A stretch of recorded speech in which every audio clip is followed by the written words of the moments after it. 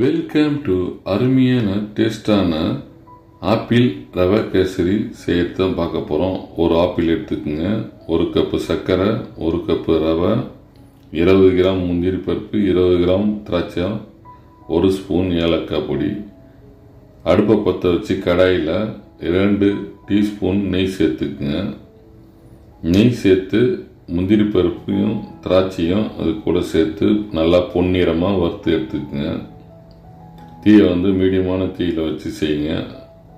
Colour இந்த மாதிரி பொன்னிறமாக ஆன பிறகு எடுத்துருங்க. அது கூடிய நம்ம ஒரு கப்பு ரவையை சேர்த்து இதை வந்து ஒரு அஞ்சு நிமிஷம் நல்லா கலர் வந்து ஒரு ப்ரௌன் கலரில் லைட்டாக மாறினாலே போதும். நீங்கள் எடுத்துருங்க. ரொம்ப நேரம் வறுக்க தேவையில்ல. அதே கடாயில் மூணு கப்பு தண்ணி எந்த கப்பில் நீங்கள் ரவை எடுக்கிறீங்களோ அதே கப்பில் மூணு கப்பு தண்ணி சேர்த்து கொதிக்க விடுங்க. கொதி வந்த உடனே ஆப்பிளை சீவி அது கூட வந்து சேர்த்துக்குங்க. இது வந்து ஒரு அஞ்சு நிமிஷம் தாங்க. கரெக்டாக ஆப்பிள் வந்து சீவனிங்கன்னா சீக்கிரம் வெந்துடும் தட்டை போட்டு மூணுனீங்கனாலே போதும். அவ்வளோதாங்க அஞ்சு நிமிஷம் ஆயிடுச்சு. அந்த ஆப்பிள் பழத்தை சீவனத்தை நீங்கள் கையில் எடுத்து நசுக்கி பாருங்கள் நசுக்கினீங்கன்னா வெந்துச்சுன்னா ஒரு மூணு டீஸ்பூன் மறுபடியும் நெய் சேர்த்துக்குங்க. அது கூட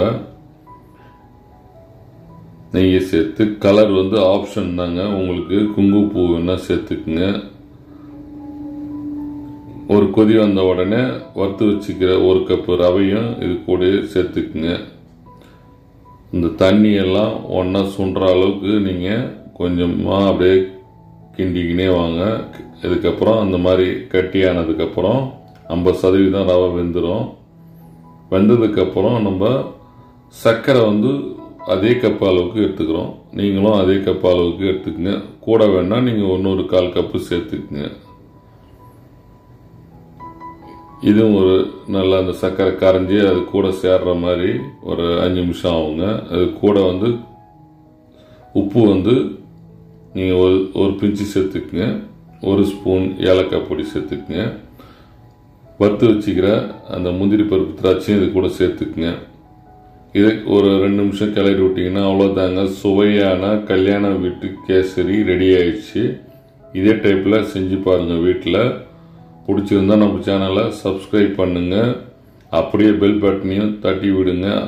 நன்றி வணக்கம்.